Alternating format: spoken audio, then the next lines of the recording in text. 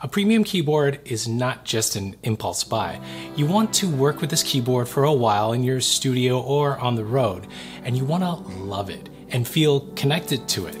The touch needs to be right and creativity just needs to flow. These three keyboards made me feel that way.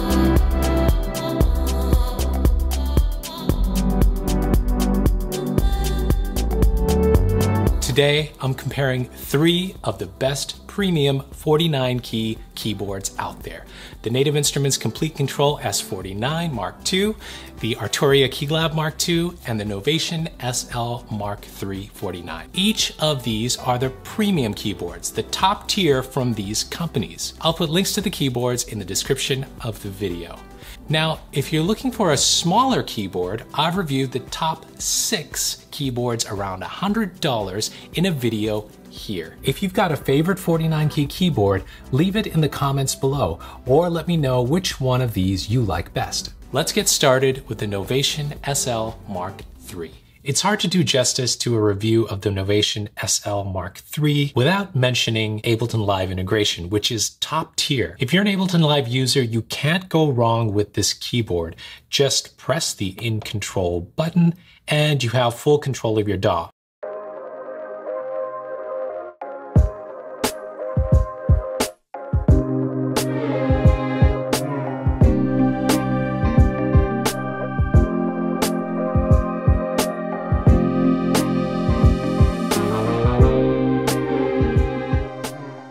But what if you use a different DAW? Well, Reason users will be happy to hear that integration is also excellent. For other DAWs, there is a basic control script. For FL Studio, with a little setup, you can control transport, mixer, and automap enabled third-party plugins. For Logic, you can control transport faders and pans, the basic stuff. Now when it comes to Ableton Live, this thing really shines. Now all three of these keyboards in this video will let you control Ableton transport functions like play, stop, record, etc., as well as faders and pan, solo, mute. These are all standard, but the Novation keyboard extends this further with clip triggering and control of Ableton devices right out of the box. Although you can do this with the Arturia, the Novation mimics the Ableton workflow in hardware form much more intuitively. Navigating the session view in Ableton feels just natural. Above all, Novation provides out-of-the-box control of Ableton devices, so there's no setup required. Load up any Ableton instrument or effect and you've got hands-on control right away with clear feedback on these screens. In my opinion, this is the nicest keyboard for Ableton users who compose and perform with Session View. And I'm going out on a limb here, but if you're an experienced keyboardist, I feel that the SL Mark III offers a better overall experience than the Ableton Push 2.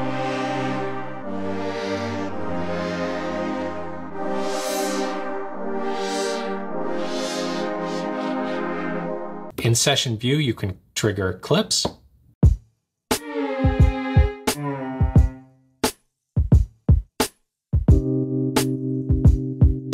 Of course, you've got your fader controls for the mixer here as well.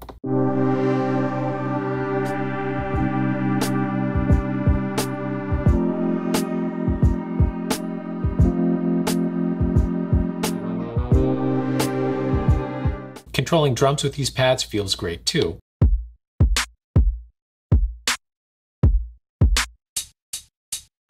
All right, so that's DAW control. But next, the Novation SL Mark III is a sequencer, and it's highly functional as a sequencer for hardware synths.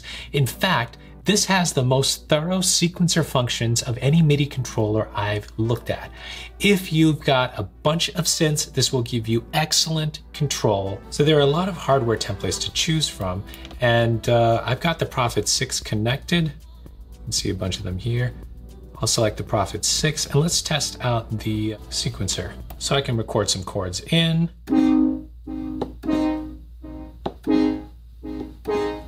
And play them.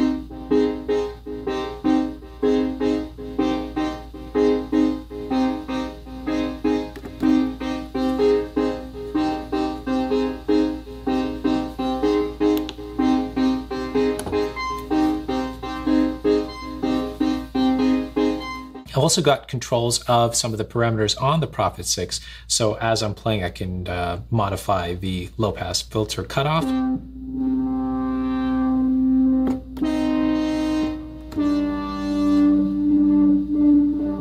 Uh, high pass cutoff. And you can of course configure this. You've also got the built-in arpeggiator,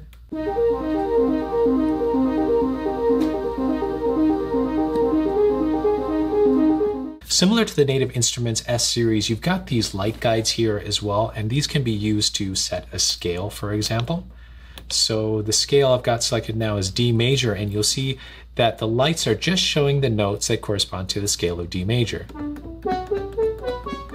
There are a lot of other features that the Novation has, like the zone control, custom templates, and more. I can't go into all of them in this one video, but you should know that for any one of these features, there are tons of options, tons of things you can set, tons of customizations that you can do. On the back of the SL Mark III, you've got USB out, MIDI ins and outs, CV connections, and pedal ports, the standard stuff. Now with all that this keyboard does, it comes with a bit of a learning curve. Even some simple functions like turning on the arpeggiator can get complex if you don't read up or know what you're doing. I got stuck a few times just trying to figure out some simple features because it just goes so deep. The build quality feels really good, but it's not up to the standard of the Arturia Keylab Mark II. The keybed feels good, it's synth-like, but I prefer a more piano-like experience.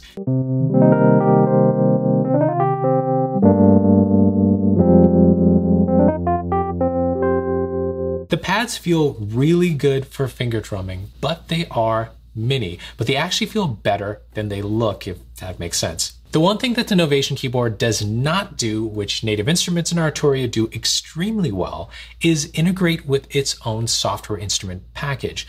Native Instruments and Arturia both include and have tight integration with their own software instrument bundles. Let's take a look at Arturia's next. These keyboards are not cheap, and spending this kind of money means you expect premium build quality. I think the Arturia Keylab Mark II really delivers in this area, especially given that the Keylab is the least expensive among these three keyboards. When you consider the features and software that the Arturia Keylab Mark II comes with, I think you get more than what you pay for with this keyboard. I've got the white version here, but this keyboard also comes in black. The keybed feels really good, but I had to adjust the velocity for my liking. It was easy enough to do.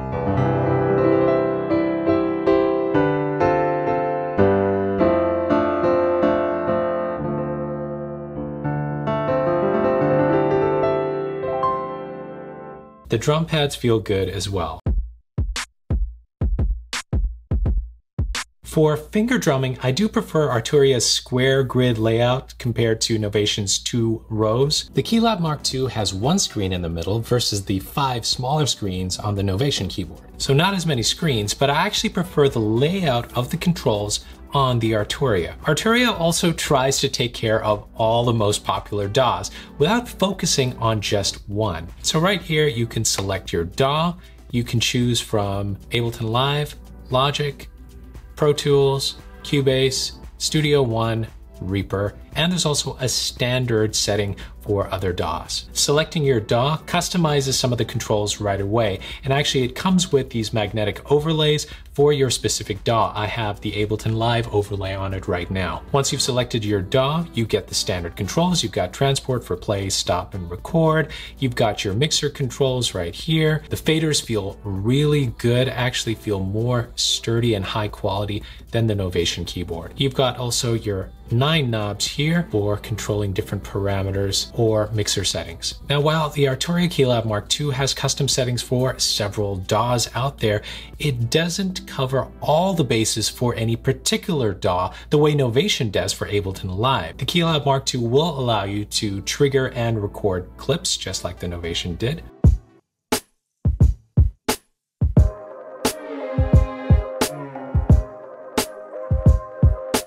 the Keylab Mark II won't give you Ableton device control out of the box. You'll have to configure that yourself. Arturia has the standard DAW controls, but where it really shines is its integration with its own software analog lab. and it's got a dedicated button for Analog Lab here. What Analog Lab allows you to do is browse and audition sounds from Arturia's collection and load them into tracks seamlessly. Analog Lab is a huge collection of vintage synths, pianos, organs, and even presets from its wavetable synth Pigments. The integration is very tight, allowing you to filter the full V collection of sounds by type and category. So for example, if I want to just search for pads, I can click this button right here. And in Analog Lab, it's already filtered all the presets for pads. And now I can just start exploring these different presets and load them up very easily. As soon as you load up a preset with Analog Lab, you have immediate control to start adjusting the parameters and doing all the sound design you want with these presets.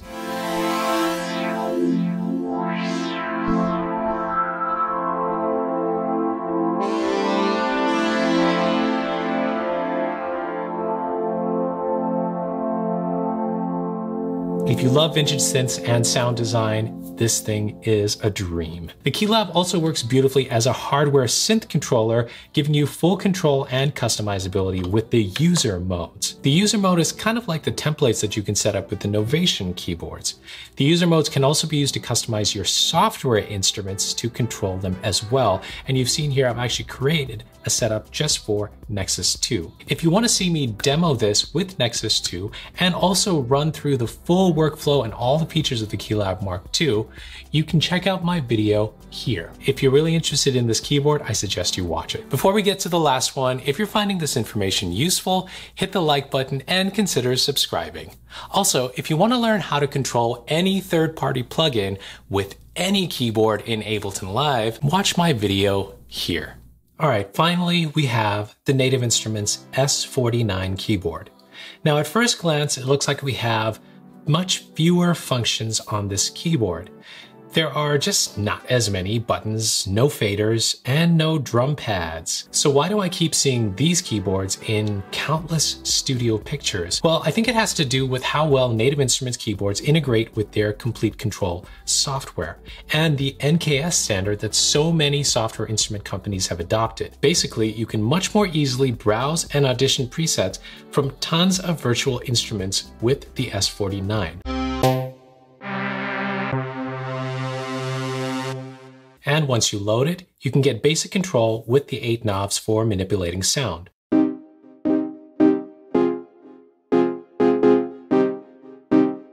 This universal control is what makes Native Instruments keyboards so appealing. That said, their Komplete Kontrol software is now compatible with other MIDI controllers from other manufacturers, but you'll still only get the 8 knob control. You won't be able to browse with this all important knob right here. This is what makes these keyboards special. The S49 makes the browsing and auditioning of sounds so seamless with this beautiful color screen. Definitely the best looking screen among these three keyboards.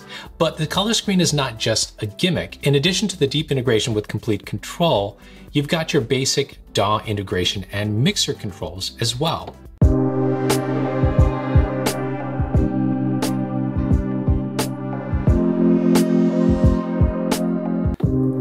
I love the visual feedback of your track levels on this screen. The S49 works with Logic, Cubase, GarageBand, and they recently added MCU support as well. So your basic functions like the transport controls for play, record, stop, um, setting tempo, the metronome, and other functions like undo, quantizing, and things like that all work really well. The S-Series keyboards do fall short when it comes to Ableton Live session view control. Without pads, you just can't control clip triggering and recording. But the S-Series keyboards do give you control of the Native Instruments Maschine software as well.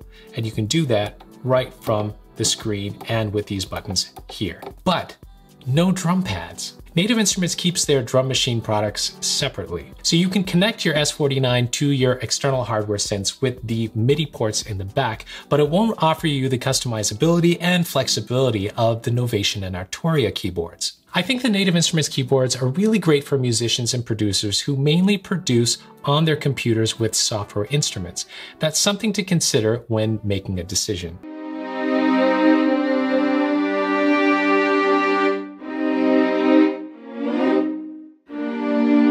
Like you saw on the Novation keyboard, the S series has light guides as well. These can be used for the same kind of functions like setting the scale, but it also works really well with Kontakt instruments like the one I've loaded up right now, which gives you different zones for different sounds or different functions. In this setup, we've got cellos, violas, and violins split on this keyboard. I can't say enough about how well the Native Instruments keyboards integrate with their software and make browsing and auditioning sounds so easy.